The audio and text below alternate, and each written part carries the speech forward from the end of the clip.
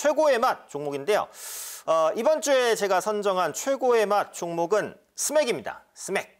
야, 이번 주 상당히 좀 좋은 흐름을 보였는데요. 스맥은 통신 장비와 소프트웨어 그리고 기계 사업을 영위하는 업체입니다. 어, 뭔가 이제 복합적인 사업을 영위하고 있기 때문에 아, 사업 구조가 딱 들어오지 않아요. 이렇게 생각하실 수도 있는데 한마디로 정리하면 뭐다? 네, 로봇 관련주입니다. 로봇 관련주. 로봇 관련주의 선별적 강세가 계속해서 이어지고 있어요.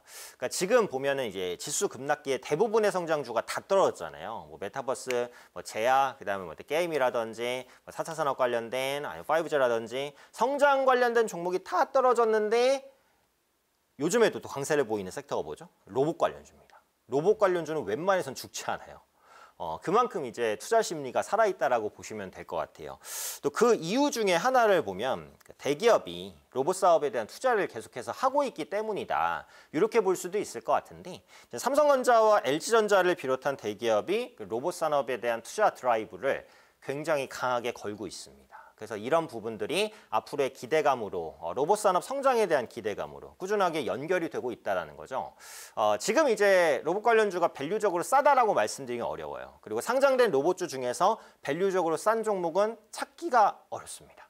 그래서 지금 스맥 같은 경우에도 사실 실적 대비 저평가다 이렇게 말하기 좀 어려워요. 근데 지금 이런 로봇 주의 흐름, 긍정적인 흐름이 쉽게 꺾일 것 같지는 또 않아요. 네, 그렇기 때문에 지금 로봇주를 가지고 계신 분들은 추세만 보시면 될 것 같아요. 상승 추세를 계속 이어간다라고 보시면 홀딩, 상승 추세를 깼다라고 하면 매도. 뭐 이런 관점으로 보시면 돼요.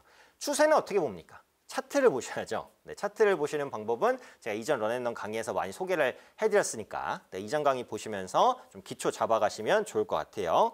자 그리고 추가적인 부분을 보면 그 한수원이 3D 프린터로 원전 부품 생산에 성공을 했어요. 어, 예전에 이제 몇 년 전에 3D 프린터 시장 하면서 관련주 한참 떴다가 요즘에는 거의 아예 얘기가 안 나오는데요. 이 스맥 같은 경우에도 3D 프린터 관련주입니다. 왜냐면 금속성 3D 프린터 자체 기술을 개발을 했어요. 그래서 이런 reference를 바탕으로 관련주로 분류가 돼 있죠. 3D 프린트 뭐 한 번쯤은 보셨을 것 같아요. 원래 프린트라고 하면 A4 용지에 어 이제 검은 활자로 인쇄된 이런 것들이 나오는 게 이제 뭐 그 프린터다. 이렇게 이제 보고 있는데 3D 프린터는 없죠. 입체적으로 출력을 합니다. 그래서 내가 뭐 구도한 모양, 내가 그린 모양을 3D로 뽑아낼 수 있으니까 뭐 장난감도 만들 수 있고 뭐 기계도 만들 수 있고 진짜 뭐 총도 만들 수 있고 다 만들 수 있어요. 앞으로 굉장히 크게 성장할 산업이라고 하죠. 그리고 3D 프린터가 처음에 나올 때는 가격이 굉장히 비쌌는데 지금은 이제 100만 원 안팎의 좀 저렴한 제품들도 어, 많이 나와요.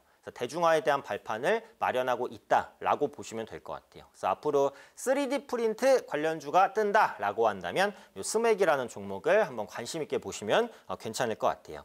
근데 지금 기술적으로 보면 단기간에 좀 급등을 했죠. 어, 매물 부담은 있습니다. 현재 위치에서는 차익 실현 매물이 나오거나 주가의 출렁임이 좀 커질 수 있기 때문에 이런 부분들은 좀 주의하셔서 보셔야 될 것 같아요.